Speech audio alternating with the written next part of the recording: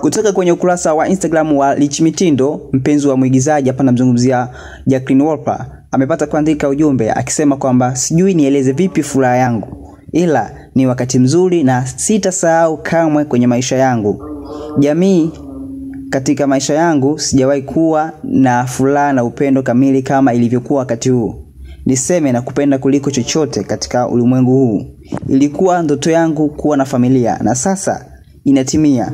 Kwa hili nitashukuru milele na kupenda Jacqueline wangu na nitampenda mwanangu sana sababu umembeba mwanangu ndani yako na kuahidi nitakuwa baba bora mwaminifu kwako na mwenye upendo na nitakuwepo na nyie milele. Amina.